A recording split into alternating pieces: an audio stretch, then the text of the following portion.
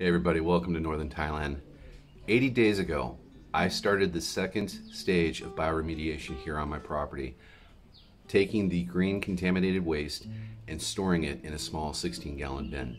Now, this whole thing was an experiment. I wasn't sure how this was going to work. I didn't know what it was going to look like, but the effort was being undertaken to try to see if I couldn't attract black soldier flies to this bin and get them to lay their eggs so that the end result would be black soldier fly larvae and to my amazement, it worked.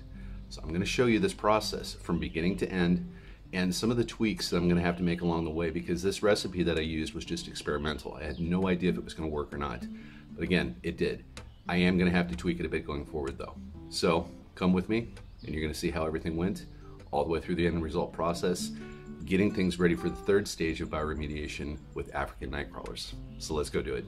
Now, down in the description box below, if you're not familiar with black soldier flies and their larvae, I'm going to leave you some links that are going to give you some really incredible background information on them. But basically, anywhere in the Western Hemisphere that has both tropical or subtropical climates, you're going to find black soldier flies. They're native, they're wild populations in those areas, so you don't normally have to worry about it. Plus, in all honesty, over the past 10 to 15 years, there's been so much made about their abilities to process food grain waste they're practically all over the world now.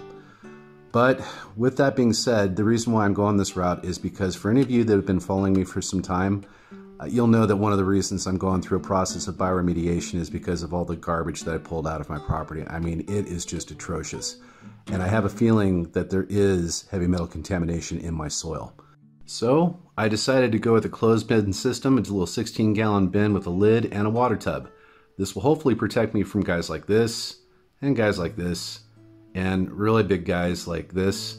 Uh, these geckos and lizards can wreak havoc on larvae.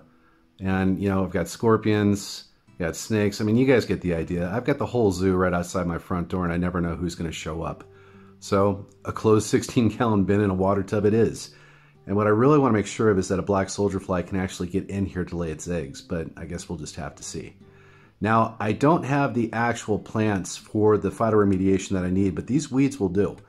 Um, I do have the water mimosa on my property, but this is really prickly, thorny stuff. And in all honesty, I don't really think it's something that would be good for the worms to eat or even the larvae to eat. So, I mean, yeah, they're just going to get excluded from this mix. And plus, they're a lot better at nitrogen fixing, so I think I'm just going to leave them in the ground to continue to do that.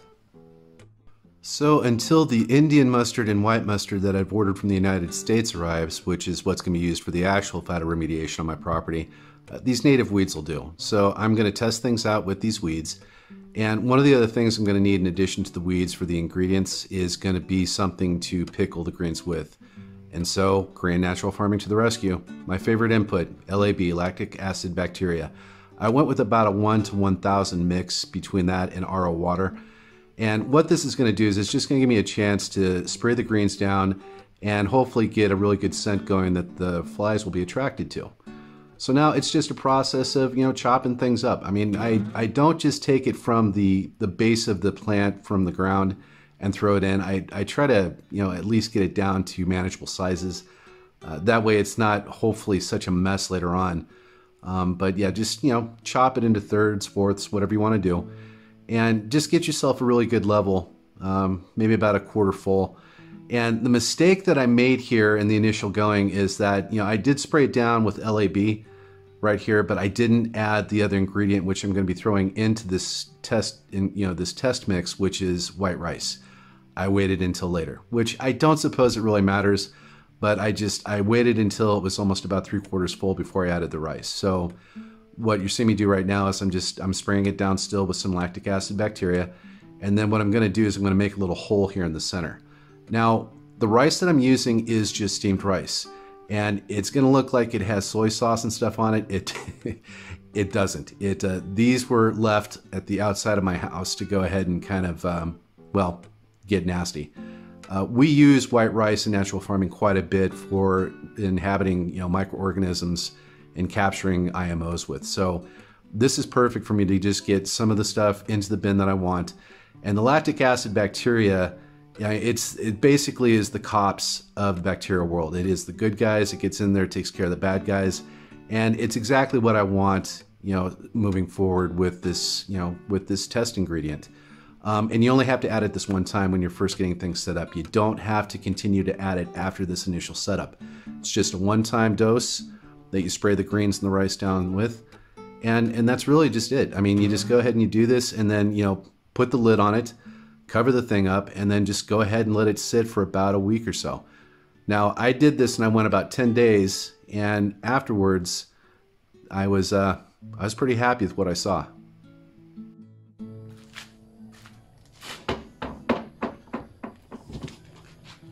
Oh yeah, it smells like sour mash.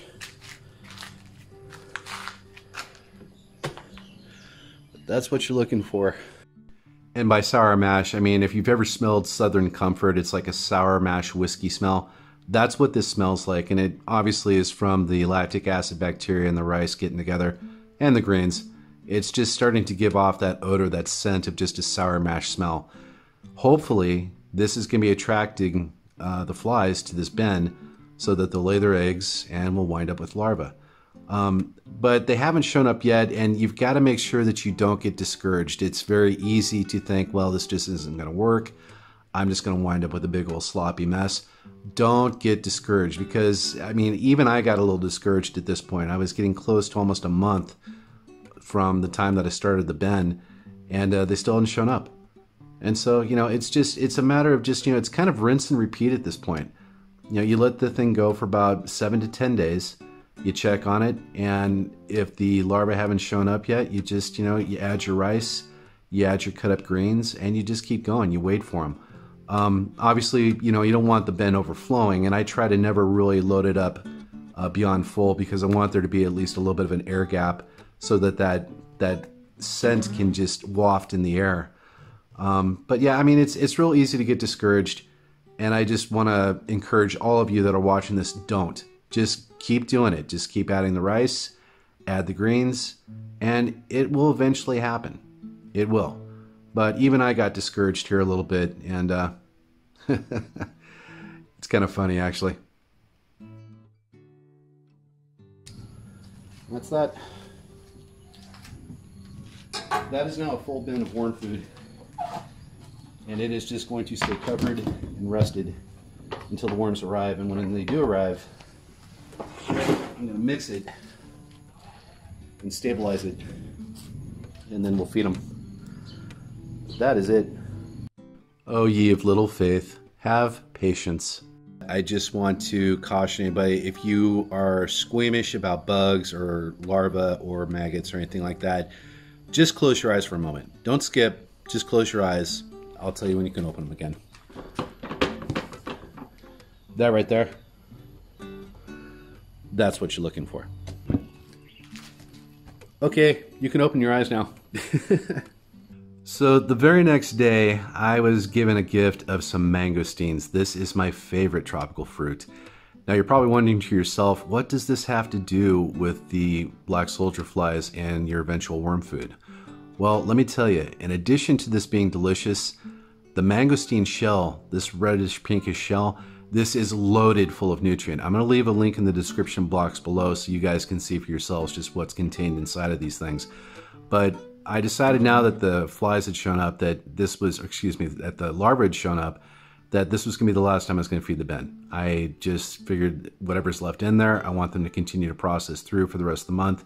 Because as we get into September, uh, that's when the fungal compost should be completed and that's when I really need to make sure that these guys are done. But as you can see, I've just got an absolute ton of BSFL in here. And they went through the rice, they went through the greens, but the mangosteen shells, they didn't really take apart. I mean, they're in them, they're eating them, but they're not really going to town the way I'd hoped. But now I've got to check the pH because this is critical to this whole process. And as you can see, it's sitting on a four and a half. Way too acidic for the worms. Way, way too acidic. So as we got into September, this was kind of like uh, this was the finishing time for everything the fungal compost um, the processing from the black soldier fly larva and as you can see they're already getting ready to pupate they're starting to turn brown in color uh, the ones that are still alive are still down in there I'm going to try to attract them out by using a plate of food And this actually worked very well. I was able to get about three to 4,000 of them out of this bin just by getting them to go onto the plate. Really easy. Just let them get there, pull them out. Simple. But now it's time to get these alkalizing ingredients put together. This is the fungal compost that I'm going to be um, putting together with some reverse osmosis water and some crushed up powderized eggshell. And this is all in the process of raising the pH. Really, really critical for the success of this process.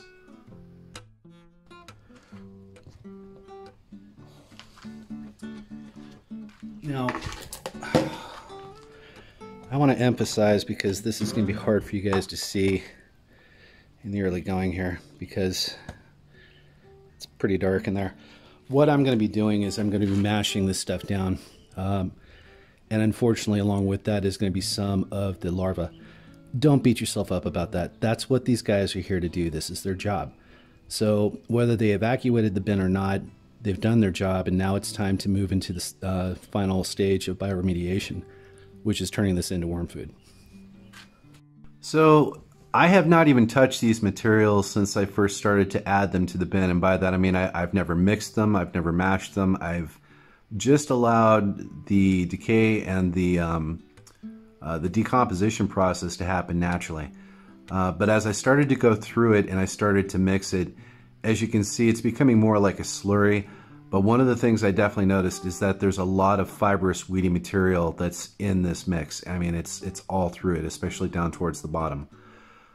So you want to be conscious of that as you uh, as you continue to mix your items in. But here, what we're adding right now is crushed up powderized eggshell, and this is serving two really important functions.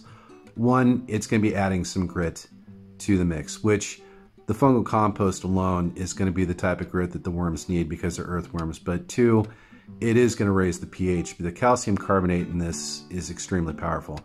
But now, do you see that dust? Please, please, please do not do this without a face mask. I don't want to find anybody repeating this process that winds up with any type of a respiratory infection because they didn't wear one. Um, make sure that you wear a mask so you don't huff any of this dust. But the reason I add this first is I really want to make sure that I get this, this powderized eggshell all through this mix as best I can. Um, it's going to be the most critical ingredient of the alkalizing ingredients in here. And I just want to try to mix it as thoroughly as possible. So I just started to stir it, mash it, and just get it as deep into the bin as I could and just mixed around as well as I could so that I could ensure that it's through as much of it as possible. But now after that finishes, what you're gonna be adding next is your RO water. And the RO water here in my area is a straight seven. It's a seven pH. So this is gonna do nothing more than just continue to add the hydroxide ions that I need to be able to really raise the pH. After that, give it a few stirs, and now it's time to finally add your compost. Now, it doesn't have to be fungal compost like I'm using but I like the fungal compost because it's just, in my opinion, it's it's a better balanced pH to mix in. Um, sure, composting is a, a very acidic process, uh, but the end result of the cold pro, uh, the cold composting that I did here, I think has definitely helped uh, raise the pH on this because as I continue to mix this in very slowly, you don't add it all at once. Um, you can after you, you know, once it starts to become muddy like this, you can go ahead and just dump the whole batch in. But these ingredients, the, the RO water, the powderized eggshell, and this fungal compost has definitely done the pH well. As you remember, when I was first measuring the pH just back in late August, it was sitting on a four and a half. That's really, really acidic stuff. I mean, that's that's that's beyond acidic. But I'm very happy to report that after I got all of this stuff mixed in, and I mean, I, I took my time with this. This was not just a, you know, a simple five minute process. This took me about an hour to get everything done and done right until it was really nice and muddy like this. But once I got everything mixed in together, folded in together, and mashed together, I'm happy to report, and I'm going to have to ask you to forgive uh, what you're about to see here because it's a horrible picture. But take a look at that. 48 hours later, the pH is almost a neutral 7. All right, so we have the food in its own water tub now over here with the worms.